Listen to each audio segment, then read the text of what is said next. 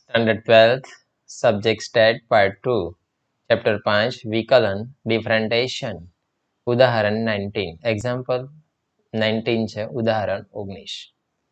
તો, અત્યારે હાલમાં આ રકમ છે જો F X is equal to three X square plus two X plus one હોય, તો એફ ડેશ એક્સ શોધો અને તે પરથી એફ ડેશ વન શોધો. તો આપણને આ પ્રશ્ન પૂછ્યા છે તો એફ ડેશ એક્સ નો મતલબ શું પહેલાં તો? જેવી રીતના ડીવાય બાય ડીએક્સ આપણે વિકલન કરીએ છીએ એ રીતના એફ ડેશ એક્સનું વિકલન કરવું તો જવાબની જ્યારે શરૂઆત કરીએ ને, તો એફ એક્સ આપેલા છે. તો એફ એક્સનું આપણે વિકલન કરવું હોય તો આ રીતના કરાય. જો એફ ડેશ એક્સ પહેલાં હું રકમ લખી દઉં છું.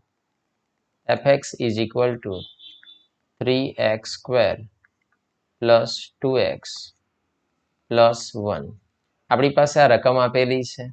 તો F dash X three X સ્ક્વેરનું વિકલન કરવું હોય તો ત્રણ ગુણ્યા બે કરો તો ત્રણ દુ છ.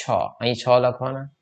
સાથે એક્સ ઉપર બે ઘાત છે, એમાંથી એક ઘાત માઇનસ કરો તો ઉપર એક ઘાત લખો કે ન લખો, કોઈ ફરક પડતો નથી. એ ત્રણ એક્સના વર્ગનું વિકલન છ એક્સ થાય. ટુ એક્સ તો ટુ એક્સનું વિકલન શું થાય? ઓનલી ટુ એક્સ નીકળી જાય. આગળ ઘણા દાખલા આપણે ઉદાહરણ જોયા છે એવા. થ્રી એક્સનું વિકલન થ્રી ફાઇવ એક્સનું ફાઇવ અને વનનું વિકલન ઝીરો તો અહીંયા વિકલન તો થઈ ગયું. તો વિકલન સિક્સ એક્સ પ્લસ ટુ આ વિકલન થયું. એફ ડેશ એક્સ શોધો તો એફ ડેશ એક્સ મળી ગયા.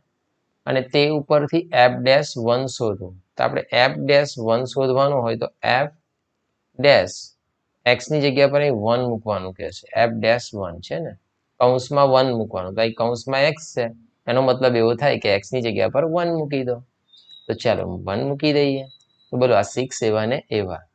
એક્સની જગ્યા પર તમને વેલ્યુ મૂકવાની કીધી વન પ્લસ કેટલા છે? ટુ બોલો સિક્સ મંજા સિક્સ છ એકુ છ plus two six plus two એટલે એઇટ છ વત્તા બે, આઠ આવશે. અહીં તમે લખી શકો આરામથી કે F dash one F dash one is equal to eight તો તમે સમજી શકો દાખલો કેટલો સરળ, કેટલો ઇઝી છે. આરામથી દિમાગમાં ઉતરી જાય, ગમે તેવા બાળકની અંદર.